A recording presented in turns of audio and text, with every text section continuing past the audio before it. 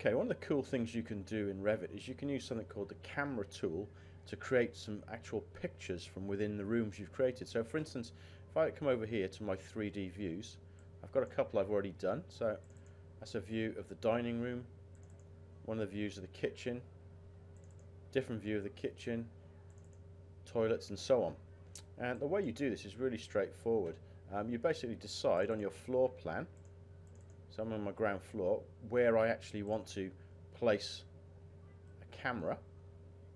So there's my floor plan. So if I wanted to take um, a picture of the kitchen perhaps looking this way to see whatever's in the middle here I, I'll go into my view menu. I choose from the drop down camera. And then it basically says where do I want to put the camera? So I'm going to position my camera here. And then I'm going to drag in the direction of uh, I want to take the, the, the photograph.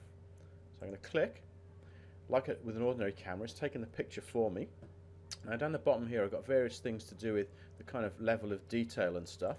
So if I increase the levels on here, we'll try it with consistent colours. And you can see what that looks like now. There's other options you've got to do with realistic colorings and you can even come up and you can change the graphic display options altogether. You've got a whole bunch of things you can do in here, deciding whether you want shadows on and lighting, different sorts and so on. You can have a play around with those. But even when you're within that picture, if you hold down shift and you hold your middle um, mouse button, you can still rotate around and move about even within that photograph to slightly alter the angle. Now you can't do a huge amount because your camera's still staying in the same place, but it's like pivoting it left and right. So this is a really cool way of, of creating lots of different views, especially when you want to put together a presentation.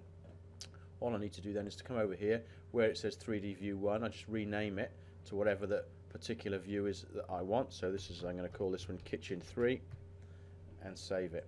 And that's basically in. And if I change anything within my actual um, in my in my drawing itself so say I change the wall color when I was in here or something it would be reflected in the changes made in the various um, different images here okay good luck with that